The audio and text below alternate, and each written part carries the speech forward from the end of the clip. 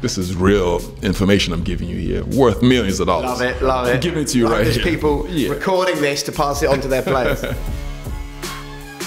every single day I wanted to push myself to be the best. I wanted to prove I was the best. I wanted to work harder than anyone else. I wanted to be first in, last out. I wanted to make a point of it that I was the best and you cannot get around me.